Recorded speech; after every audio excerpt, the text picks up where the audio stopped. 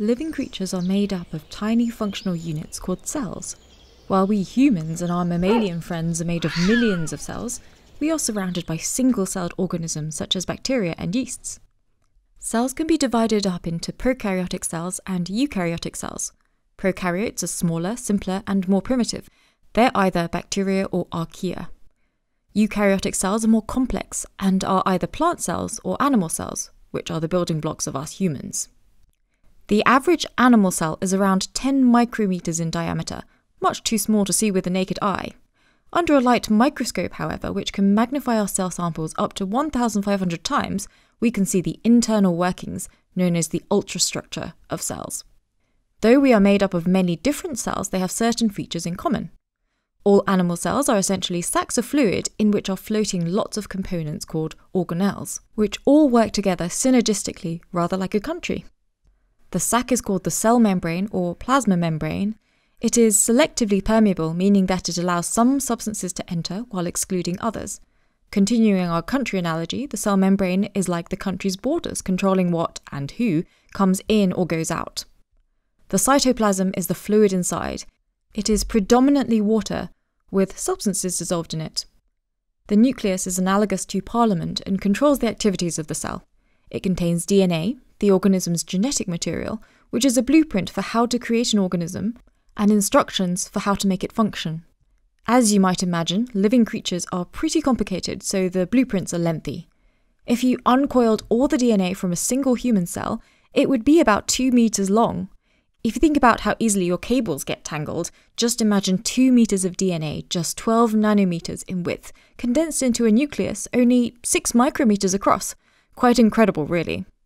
The cytoplasm contains millions of granules called ribosomes, which are like the cell's factories. They receive recipes, mRNA, sent out from the nucleus and synthesize all the proteins we need to function. All this activity requires energy, which is supplied by mitochondria, the cell's power stations. Aerobic respiration takes place here, transferring the energy from the food we eat into high energy molecules easily used by the cell to fuel its metabolism. Moving on to plant cells, these have all the same organelles as animal cells and a number of extra features. Ever wondered why plants look green? Plant cells, those above ground at least, are packed with chloroplasts, membrane bound structures which contain the pigment chlorophyll. Chloro comes from the ancient Greek chloros, meaning pale green. Chlorophyll absorbs light energy and uses it to make glucose from carbon dioxide and water in a process called photosynthesis. In the center of plant cells is a large central permanent vacuole, a sac of fluid which helps to support plants structurally and acts as a temporary storage of sugars, amino acids, and other substances. Surrounding the cell membrane is a cell wall made of the strong fibrous material cellulose. When a plant has recently been watered, you'll notice that it perks up because the water enters its cell, so the cytoplasm expands and pushes against the cell wall, a state we call turgid. The cell wall prevents too much water from entering and causing the cell to burst. When you chew a stick of celery, one of my least favourite activities, the stringy fibres that get stuck in your teeth and are supposed to prevent constipation are made of cellulose. Similarly, cotton fibres, which we spin and weave into the latest fashions, are almost pure cellulose. Animal and plant cells are both building blocks of larger multicellular organisms. As we said, both cell types are eukaryotic cells. They are distinct from prokaryotes, predominantly because they have organelles surrounded by membranes. The nucleus, mitochondria, and chloroplasts are all membrane bound. Bacterial cells are prokaryotes and look quite different. They are much smaller. They have no membranes around their internal components. This bacterium here is E. coli, resident in the gut of every human. It is only about 2 micrometers long. While it has a wall around its plasma membrane to protect the cell from damage, the cell wall is made of protein, not cellulose. Instead of chromosomes contained in the nucleus, prokaryotes have circular DNA in a nucleoid, a nucleus like region, which forms a single loop in the cytoplasm, only millimeters in circumference. In addition, it has plasmids, tiny loops of DNA containing survival genes, such as resistant genes to antibiotics, which it can replicate and pass on to other bacteria. Though bacteria have ribosomes since they also need to make proteins, their ribosomes are smaller.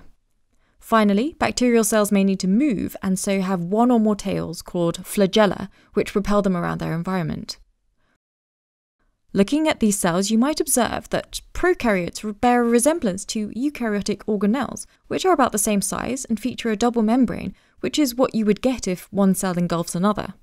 And so, at the turn of the 20th century, scientists proposed the endosymbiotic theory, which suggested that certain membrane bound organelles of eukaryotic cells are descendants of formerly free living prokaryotes. Fascinating stuff, right?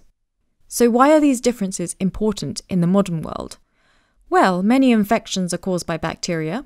We've all suffered food poisoning after eating something dodgy. Perhaps it was caused by salmonella. Have you ever coughed up buckets of green phlegm while suffering raging fevers? That might have been Streptococcus pneumoniae. We can take antibiotics to kill the bacteria without killing human cells by exploiting the differences in cell structure. Some work by disrupting bacterial cell walls, which are absent from animal cells, while others prevent protein synthesis in bacterial cells but not animal cells. Sometimes there are structural similarities and we experience side effects when we take antibiotics. So, next time you experience an episode of tonsillitis, or chew a stick of celery, or struggle with the tangled cables for your electronic devices, take a moment to reflect on cell structure.